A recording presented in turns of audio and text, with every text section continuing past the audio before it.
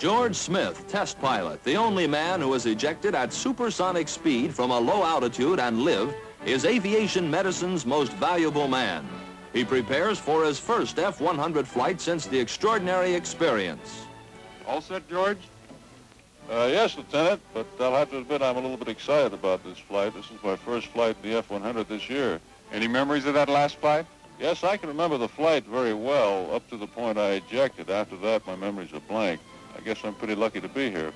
We're all very glad that you are, too, George, especially the Air Force Aeromedics.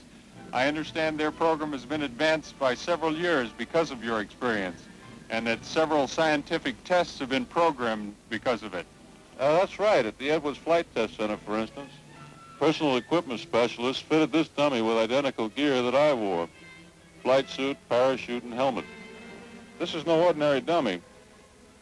It cost $1,000 and is equipped with intricate instrumentation, a simulated spine, and calculated muscle tension. Dummy and seat will be ejected at 800 miles per hour, about 50 miles an hour faster than George Smith ejected. The sled will accelerate to 800 miles per hour in three seconds. Rockets total 130,000 pounds thrust.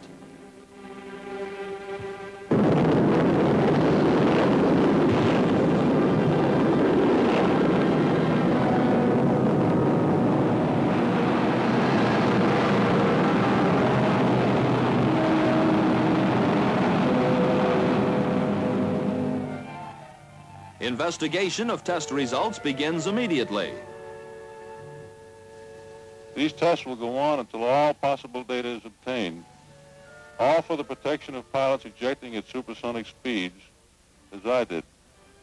Thank you very much, George, for your time, and many happy landings. Right, Lieutenant.